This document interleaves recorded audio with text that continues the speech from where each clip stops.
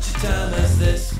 And welcome back to For Such a Time as This. I'm your host, Pastor James Pittman. Today with two special guests, Pastor Calvin Lindstrom and Stephanie Trussell, the uh, emeritus uh, radio host of Chicago.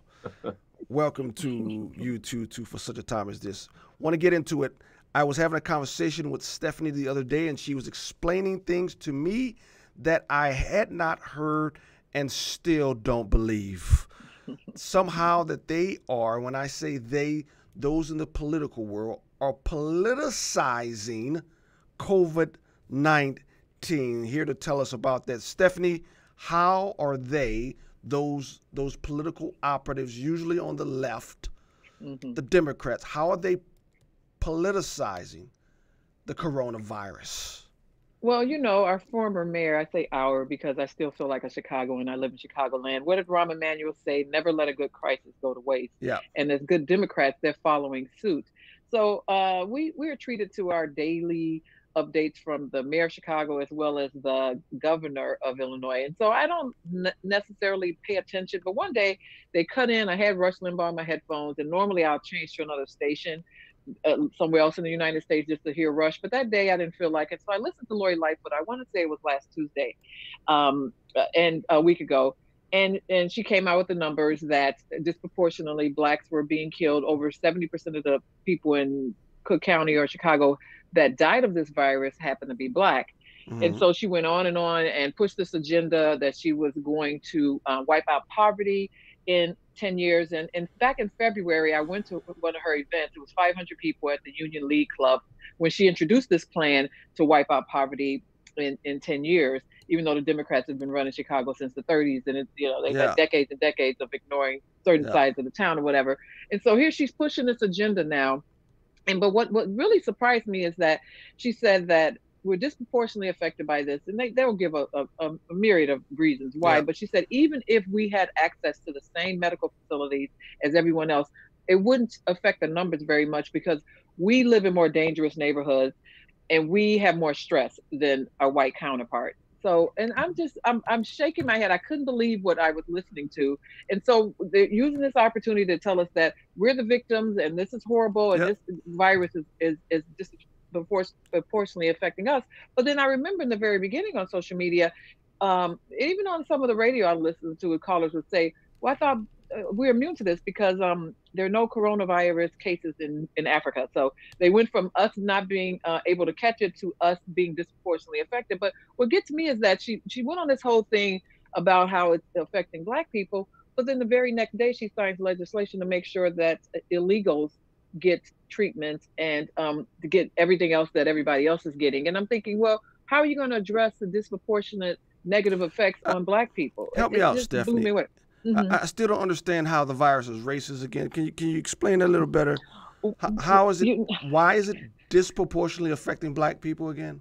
Well, you know, disproportionately, we have higher cases of hy- hypertension, um, diabetes, And, asthma. and that's and- and- that's whose fault is that? I'm sorry. Well, I I would say, hey, we've got a progressive mayor, a black gay mayor. We've got a progressive governor. How could black people be disproportionately affected by anything? Because we we're under the, the the the care of the people that most care about us, which blows me away.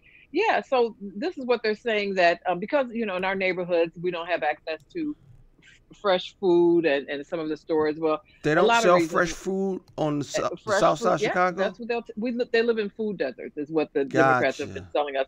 And I don't know if you guys been paying attention this last day or so. We're talking about using this as an opportunity to politicize. Obviously, the uh, the budget for the gov for the state is going to be affected. Now, J.B. Pritzker is using this opportunity to push his progressive tax, saying, you know, there's going to be a hole in the budget.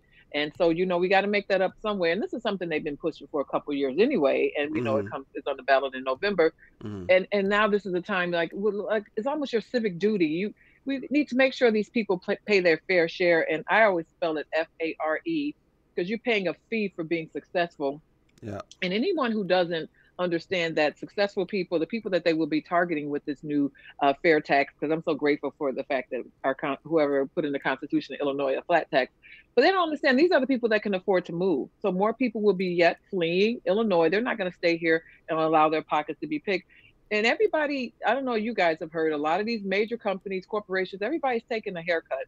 Either the executives are getting laid off or they're taking a percentage cut. In government, has anybody been, you know, laid off? Are they're tightening not. their belt? Are they cutting anybody? Uh, that's what I'm saying. Because no offense, you know, I, I just think about the ones that are working from home. Now they don't have the expense of driving. Maybe you could just cut a little bit. Some, there's some way we can cut some fat. Everybody's taking a haircut but the government. So this is a reason for them to say, well, we're going to have to come after you and we're going to tax the, the, the greedy rich because you know they're not paying their fair share. And, and, but let's, let's be honest. If they don't open up this economy, we're all yeah. going to sink. You yeah. have to open it up. On for such a time as this later on, I'm going to do some videos about uh, the Tucker Carlson interview with the, the governor of New Jersey and the great senator from the great state of Louisiana, Kennedy, who basically said, look, people, we're going to have to bite the bullet. We've got to bite the bullet. We've got to open up regardless because you, on the one hand, you have the possibility of dying from the COVID 19. On the other hand, you have the surefire possibility of dying from hunger and poverty. We've got to choose. And the lesser of two evil is this virus because in the human history, more people, as we all know, have died from hunger and poverty than any virus. And that's just the harsh reality. Um, I don't see how viruses can be racist, but that's what it seems like they're pushing, which leads oh to the next God. topic, mm-hmm. uh, Stephanie. Mm-hmm. There was a, and Calvin, we were talking about this, I think you were talking about this. There was a congresswoman in Michigan mm-hmm. that was saved from the the treatment that Trump suggested. Um, suggested? Yeah, right. Yeah, well, he's been encouraging, well, you know, uh, uh, under the guise of the professionals, medical yes. professionals. And this is a drug that's been used for decades to treat malaria, I believe. So it's not some newfangled drug yeah, that no it's already knows. FDA approved, I'm told. Right, exactly. And so she was actually, she actually recovered and she said, hey, it worked. And they went after her. Oh. Yeah. How did they go after her specifically? Well, she's being targeted and um, be, by because obviously she's a congressman, so she's constantly running for reelection every two years, and mm-hmm. they're going after her because she went on. How dare you go on the Fox and not be in that position where you're just bashing the presidents or bashing mm-hmm. Republicans? She went on to say, "Hey, this drug worked. It was great. I felt better in you know within a couple of days and and this is something that people should be celebrating you would think but again never let a good crisis go to waste and they prefer just to have more numbers because every time someone dies that's another um, mark against trump saying oh he let this person die because now they're trying to sell us that had trump notified us back in january had trump uh, done something earlier. But we have to remember when Trump said, "Hey, let's shut down travel from China." What did they say? He was a xenophobe that he, um, you know, was racist. And and let's let's face it, if Trump had come out with an orange coronavirus T-shirt on, handing out flyers back in January saying this is coming, this is horrible, um, we got to do something about it. It's no way the never Trumpers, the people suffering from Trump derangement syndrome, would have listened to anything he had to say. And and let's give him a little grace because nobody had ever dealt with anything like this. And as soon as he figured out what it was, he and everybody else got together and said, "This is what we got to do." but everybody's given grace for mishandling this at first, but but not President Trump. And he was really busy because you have to remember we had a, a, a laser focus agenda of taking him out. So he's dealing with being impeached and everything else that he's got to deal with as president. But, uh, and so now they're trying to blame all the deaths on him. And I don't know if you got. I'm I'm still waiting for someone to do a real uh, study on why disproportionately is New York being hit opposed to California, and which is more population and more people from Asia and all these other places, and and that's pretty startling numbers of people that have died, but almost half of them are in New York. So why are we looking at them saying how did they mishandle it? But everything is Trump's fault, no matter what. Because... Yeah, let me uh, let me share some other statistics here. Uh, yep. You know, I think this disease is biased against uh, French or Flemish speaking people I, I don't know that any disease has had more statistics than this one. Oh yeah, for sure. Real yeah. clear politics, interesting mm-hmm. website. So if you look at deaths per million, Belgium, Spain, Italy, France, Saint Martin, which is uh, I'm not. Where's that? Statistically insignificant. They had uh, nine United deaths. Netherlands, Switzerland, Sweden, Luxembourg, oh and then the United States in deaths per. Have you noticed, guys, on the media when we hit a certain number, they when we exceeded Italy, they said now um, um you know united states has more deaths than italy and i'm just you know not a college graduate just a dumb grandma driving around the suburbs talking to my talk radio and i immediately went and googled what's the population of right. italy? It's 60 million. We have 300 and something million. They won't tell you the the the actual numbers. They just want us because all we've heard about how horrible things are in italy. So when we just hear on the news at the top of the hour and the bottom of the hour oh you know we've exceeded italy we're thinking oh my goodness but yep. you know proportionately it's it, we our numbers are rather low considering. Yeah, I mean we're we're up there, but no, uh, Belgium is four point oh, four times greater mm-hmm. number of deaths per per million. Um, uh, this thing gets updated uh, frequently. Okay. Oh, uh, you know, good. Sweden. I, I, guess this virus must be biased against Sweden because they have a higher death rate than. Uh, than Where's the hold on? Where was the first country from Africa? Native Africans on there. Mm-hmm. Uh, you can't count Egypt and stuff. Those are the Arabs that's migrated there. Yeah, mm-hmm. um, you know, I, I, I don't know how many tests they've been able to do in mm-hmm. parts of Africa. I'll, I'll find it. Uh, let's see here. You have to go. Wait, they're not doing tests, and and I don't know how many tests. Africa, they don't care enough to do tests in Africa. well, that's racist. Well, yeah, right, uh, you know. okay here's here's the Democratic Republic of Congo is the first one I think I'm seeing on the country. They uh. they according to Real Clear Politics, they've done um, twenty thousand tests there. Uh. No. DRC uh, eight nineteen thousand tests there, and they claim uh, twenty two deaths in uh, the Congo, DRC. So they're uh, doing. And did you say well. nine in Saint Martin? Mar- Mar- the, yeah, Saint Martin. I think it's a tiny, tiny little island. I, I say I, I want to go, and I've always wanted to go there. It seems like oh, only nine deaths. That's the place to go and be. I don't know, but where is Saint yeah, Martin? That's uh, down in the Caribbean. I think down, yeah, you know, one of those be, islands yeah. that you hit when you take a Caribbean cruise. Okay. Yeah, down there. So I'm I, in my I mean, own private island. I, I oh right, I see. We, well, apparently uh, St. Martin is right behind Calvin there because yeah, that's the place that I want to be but you know i encourage everybody because um, we, we may have more time and some of you guys are essential which i love that you're able to work from home but i'm finding a lot of conservatives that are usually too busy are now they find themselves with this time and i encourage everyone to listen to liberal radio especially out of chicago and when you have people saying Stephanie. that you can't do it i know it it's hard the brain. You, it does it does but when you hear callers call in and say well you know they must be telling the the doctors not to treat black people at the hospital for this. And so you cannot control as a, a, person that was on the radio for a little bit you cannot control what callers say. But i certainly look for the host to say well that that doesn't make sense and they're black medical professionals they wouldn't go along with this. But they yeah. just they're trying to say everything this is racist. This whole thing is racist. How they're treating us as racist. They got to sell that victimhood to them no matter what the situation is. And now that they're requiring in some villages in Chicagoland and in the state of um, New York, I think, and California, there you have to wear a mask when you go out in public. So I'm listening to the radio this morning, and they're saying, well, it's going to be hard to be a black man out with a face mask on. You're going to be racially profiled. So what are you going to do in this time, in this crisis? Call in right now. What is it like? Are you afraid to be a black man in the coronavirus um, season? I, and I'm thinking, oh my goodness, I they have to sell their victimhood. I, I don't understand victimhood. What I don't get it.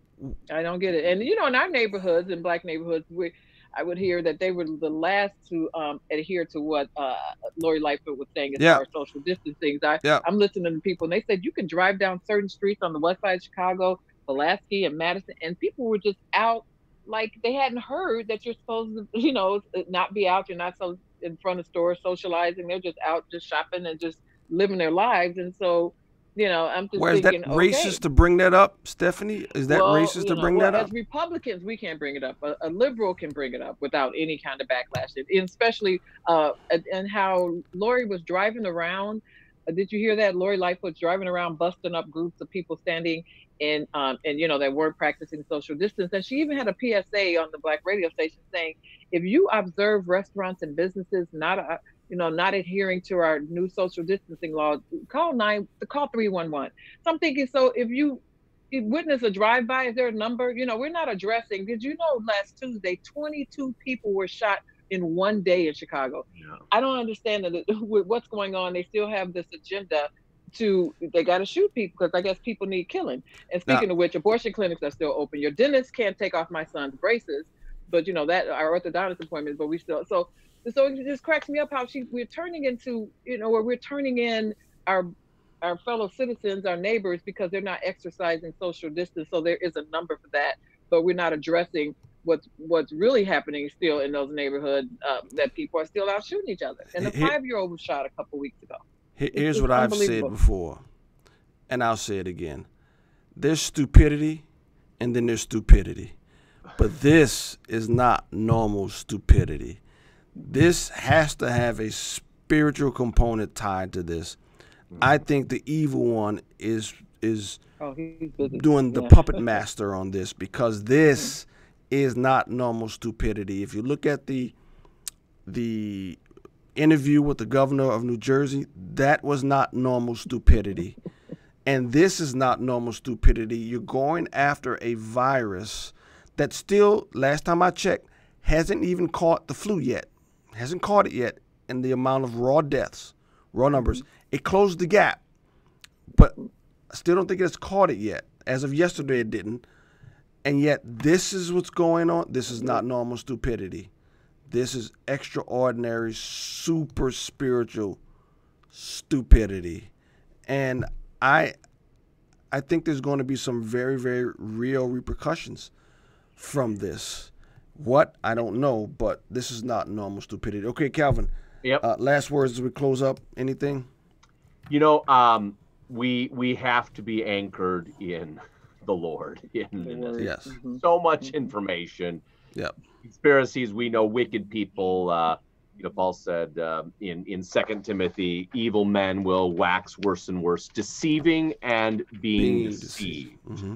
So we we we have plenty of examples of of that deception. Yeah. But uh, I I think we have to, as much as we can, without being Pollyannish, we do have to to recognize that continuing the things which you have learned and been assured of, uh, the, the, the confidence in Scripture, and uh, all who desire to live godly in Christ Jesus will suffer persecution. So uh, there are aspects that we are are learning. Some we're we're happy to learn, others but we're not as happy to learn. But uh, we we yeah. keep up keep up the fight of faith in yep. this. So agreed, agreed. Let your focus well, thank, be on uh, be on Christ. So yep. Well, thank you for tuning in for such a time as this. We'll see you next time. Thank you, Stephanie. Thank you, Calvin, for being a guest Thank here you, on for such a time as this. We'll see you all later. God bless. And remember, I, I got to leave with this. The goal of the church is to preach the gospel, not to give false hope. That's it. Done. Amen. See you later.